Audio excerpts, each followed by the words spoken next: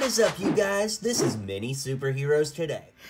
Hey guys, we're back today with another Mega Bloks review. Now, you guys have really liked the Mega Bloks reviews in the past, especially when the sets are weird, and I can't think of a stranger Mega Bloks set that I've reviewed to date.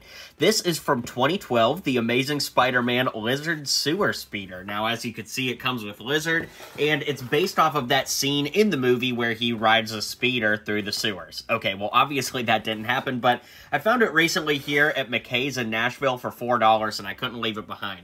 Check out these other weird sets that they made, like a red, white, and blue Spider-Man go-kart, another one that's almost an identical build, uh, but looks like regular Spider-Man, another Lizard go-kart, and then we had some vehicles, and I've actually reviewed this one here on the channel. If you can believe it, there were even more sets than these, but in today's video, we're just going to take a look at this one.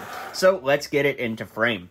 As you can see, we do have some stickers here, and that one's already starting to peel off, but you know, Mega Bloks get the bad rap for not really connecting very well or not staying together, but this set actually is pretty sturdy, if I'm being completely honest.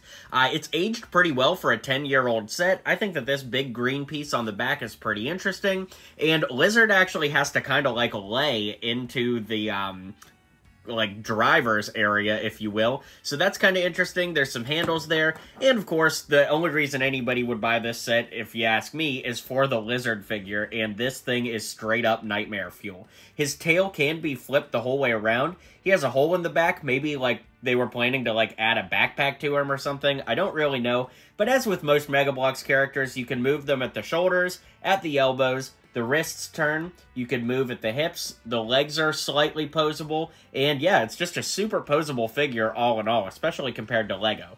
The thing that's crazy to me about this set is I literally cannot picture Lego making a set with just the lizard in it.